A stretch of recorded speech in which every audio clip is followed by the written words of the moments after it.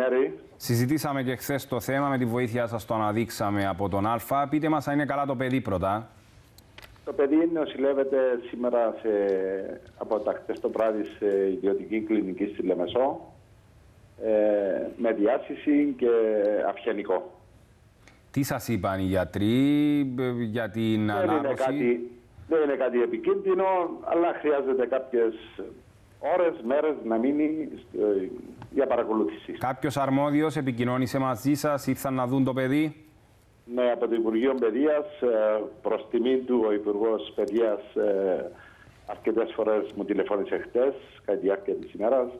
Ε, ήρθαν από το Υπουργείο στο νοσοκομείο, ε, επισκεφτήκαν το μωρό, η διευθύντρια του σχολείου, ο πρόεδρος της Ομοσπονδίας Γονέων, ο κ. Κυριάκος. Ε, πάρα πολύ. Υπουργός Συγκοινωνιών σήμερα με πήρε τηλέφωνο. Ναι. Το παιδί τι σας λέει κύριε Χριστοφή, ποιες είναι οι σκέψεις του; Το παιδί είναι λίγο ε, εκτός ε, εαυτού, ε, λίγο φοβισμένη. Ε, εντάξει. Ωραία, ας το αφήσουμε μέχρι εδώ. Τα περαστικά μας στην κόρη σας και σύντομα να γίνει καλά να επιστρέψεις στα μαθήματά της. Να είστε καλά κύριε Χριστοφή.